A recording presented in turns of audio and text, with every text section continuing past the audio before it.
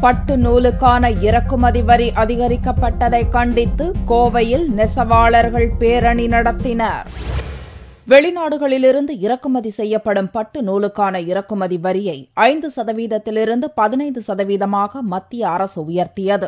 இதை ரத்து செய்ய வலியுறுத்தி மத்திய அரசை கண்டித்து கோவை திருப்பூர் மாவட்டங்களைச் சேர்ந்த நெசவாளர்கள் உண்ணாவிரதம் மற்றும் கடையடைப்பு போராட்டத்தில் ஈடுபட்டு வந்தனர். இதன் ஒரு பகுதியாக வெள்ளியன்று கோவையில் ஆயிரக்கணக்கான நெசவாளர்கள் பங்கேற்ற பேரணி நடந்தது. காந்திபுரம் திருவள்ளுவர் பேருந்து நிலையம் அருகில் துவங்கிய பேரணி வஉசி பூங்காவில் நிறைவடைந்தது. பேரணியின் போது மத்திய அரசுக்கு எதிராக கோஷங்கள் எழுப்பப்பட்டன.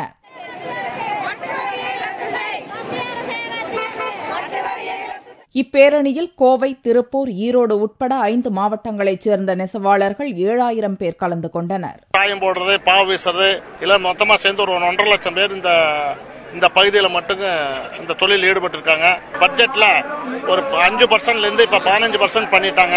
அதனால ஒரு கிலோவுக்கு முன்னூறு நானூறு ரூபா விலையாற்றமானதுனால எங்க தொழில் பாதிச்சிருக்குது.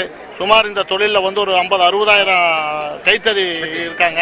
வரும் இருபத்தைந்தாம் தேதி வரை நெசவாளர்கள் நடத்தவுள்ள போராட்டத்தினால் பல கோடி ரூபாய் வருவாய் இழப்பு ஏற்படும் சூழல் உருவாகியுள்ளது. போராட்டம் மேலும் வலுக்காமல் இருப்பதற்கு மத்திய அரசு உடனடி நடவடிக்கை எடுக்க வேண்டும் என்று நெசவாளர்கள் வலியுறுத்தியுள்ளனர்.